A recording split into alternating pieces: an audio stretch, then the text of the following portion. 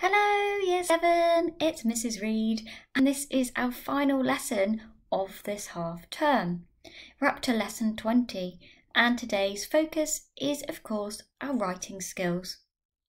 I've really enjoyed teaching you this term in our virtual classroom, and I'm really, really looking forward to when we can all go back and be together in our real classroom once again. But for the meantime, I want to say a great big thank you to all of you because this week's star of the week is everyone. You've just all been so brilliant, and I am really, really proud of the work that you've put in. Learning at home, or even when you're in support school, isn't easy, and it's not the same as having your teacher there live in the classroom. So, a big thank you and a well done from me. You are all Team Awesome, and I want you to keep up the great work.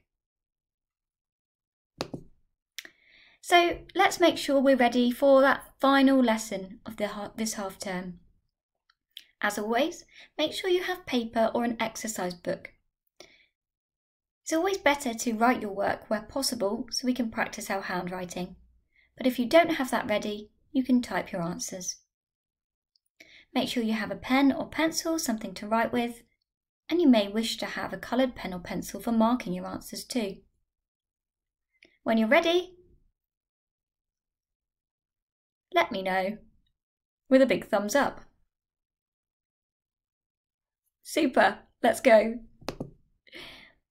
Today's first task is about correcting a piece of writing. I want you to put in the missing full stops and the capital letters. Now, that sounds easier than it actually is. When you're doing a task like this, you're actually correcting run on sentences. So, the first thing you need to know is what is a sentence? Well, a sentence is one complete idea. And we follow the rule in class that a sentence can name a person once and tell two things the person did. So each time we name a new person, we definitely need to start a new sentence. Let's read the paragraph together and then we can practice putting in some of the punctuation.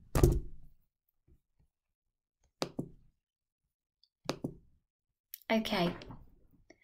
A boy took his mum to the cinema. He had a good time. The film was very funny. His mum bought a big box of popcorn. They made they rode home on their bikes. Can you see here that there's no punctuation to show me where the end of one sentence is and where the beginning of the next one starts? That means I need to be careful, and when I rewrite this paragraph out in my book, I need to make sure that all the full stops and all of the capital letters are accurate. Let's try the first one together. Looking at my sentence just here, what's the first thing that you can notice is missing? Three, two, one. Say it out loud. A capital letter. So here I need to use a capital A. That would be correct. A boy took his mum to the cinema. He had can you see here? Look. A boy took his mum to the cinema is one complete idea. When I go on to this word, he, I'm actually introducing a new person. So I must use a full stop here. And what do I do to this word? Can you remember? That's right, I change it to a capital letter. Capital H for he. He had a good time. I don't want to go through this much more because I would like you to have a go at correcting it yourself. So now's the time to pause the video, rewrite this paragraph, put in all of the missing full stops and the capital letters. Do that now, please.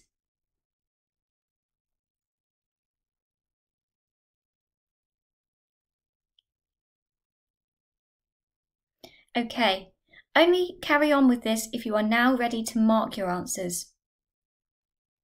Grab yourself a different colour pen and let's get marking.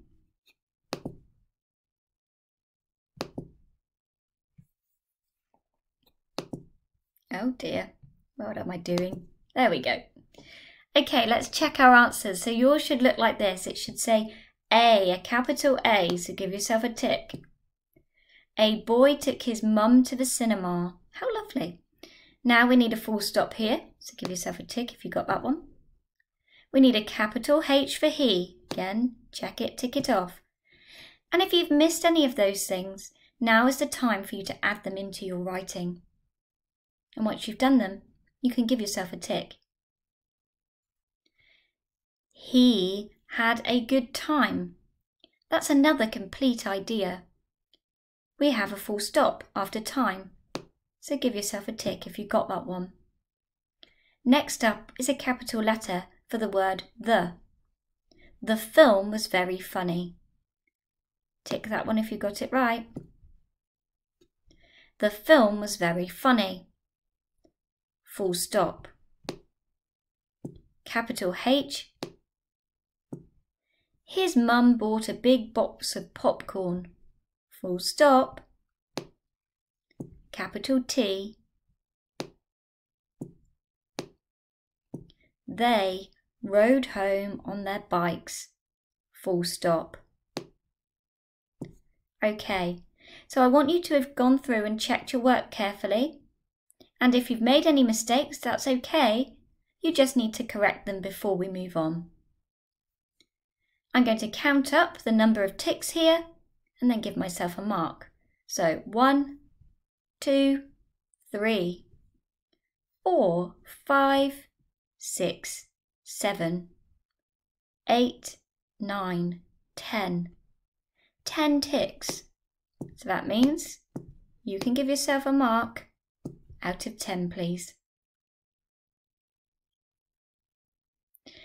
Okay, good work. Let's move on. So our next um, exercise here practices something that we've done for several lessons in a row now, and that is changing something from the present into the past tense. So I'm hoping at this point that you're getting really confident with this activity and a bit like when we're in class, you know that this one's coming. It's a bit predictable. You know, oh, Miss Reed's going to get us to do that task again. And that's because it's really important. When we're writing in English, quite often we do write to say what the person did, and we write it in the past tense. So it's an important skill. Okay, let's have a look at the sentences first. Sentence one says, they were wearing helmets. Okay. Can you see that some of this sentence tells what the per person or um, people are doing now? That's shown in the words were wearing. Instead of saying that, we want to use an alternative word. So we need to check the words at the bottom of the page. Let's have a look we've got the word sat, through, rubbed, wore, and cleaned. Can you point at the bottom of the screen and say which word should go in this sentence? They were wearing helmets. Point at the right word now. Okay. Now help me to save a sentence to tell what the person did. I'm going to count you down for this. Are you ready? Three, two, one. They wore helmets. Well done. So I can replace this part of a sentence with the word wore. That wasn't my neatest writing, was it now? I'm sure you can do better than me. Let's have a look at sentence two before you have a go on your own. Sentence two says, She was throwing the ball. Which part of a sentence do I want to change? That's right. I want to change the part that says was throwing. So I'm going to replace it with a verb that tells what the person did. Can you find it at the bottom of the screen? Once you see it, point at it. Okay, so rather than saying was throwing, which word do I want to use? Threw. Okay, so I will say the sentence as it is now, and you are going to then repeat back the sentence changed to say what the person did. She was throwing the ball. Ready? Three, two, one. She threw the ball. That's right. Okay. I think you've done this task a few times now and you're getting really good at it. So show me what you can do, pause the video and complete sentences 1 to 6 now please.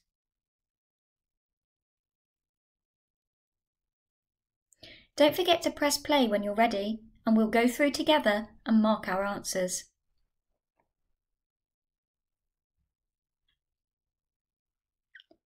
Okay, let's make a start. It's time to mark. So I've got a different colour pen here and I'm going to use it to mark my answers. So sentence one should say, they wore helmets. Give yourself a tick if you got that one right. Sentence two, she threw the ball. Sentence three, they cleaned the room. Sentence 4. The boys sat on the floor. Sentence 5. He wore a new shirt. Sentence 6. The clown rubbed his nose. Bit like this. Okay, so once again, you can give yourself a mark out of six. All right, really well done. So that's two bits of writing practice that you've completed so far. So I want you to check your time. If you haven't yet used your 45 minutes, I'm going to set you one more thing for you to have a go at. Today's extension task is again a piece of writing, just like you've done over the last few writing lessons. I've attached a worksheet on to show my homework for you to look at. The worksheet includes four pictures. I would like you to report on what happened in those pictures. Write a sentence that tells the main thing that each person or object in the picture did. When you've written your paragraph, which should be around four sentences, you can check back here and mark your answers. So make sure you stop the video, you go to show my homework and you open up the PDF sheet which shows you the writing activity. Can you do that now, please?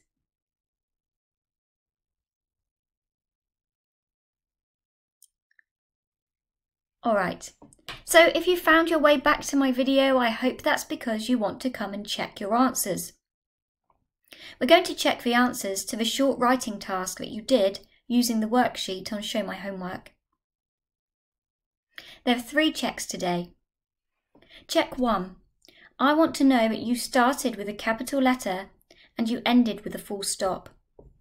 If you did, you can write your box, number one, and tick it off. You want to spend a few minutes though carefully checking your work before you do this. Check 2. Check 2 says, does each sentence name a person and, or it might be an object actually, name a person or an object, and tell what they did. Remember that what they did is you writing it in the past tense. So check your sentences carefully before you give yourself a tick for check two. And finally, Did you use some of the words in the vocabulary box? Remember, we in, like to try and use some of them in class. So, if you have used some of the words from the vocabulary box, give yourself a tick for check three. If you haven't, are there any that you could change? Could you choose a word and add it into your writing? Once you've done that, you can tick off box 3. OK Year 7, thank you for all your work this term. You have been super. And you know what to do next. I want to see a copy of your work, so please take a picture and upload it to show my homework. Or, if you need to, send it to me at my college email address. Hope you all have a super, super half term, and I'll see you all very soon. Bye!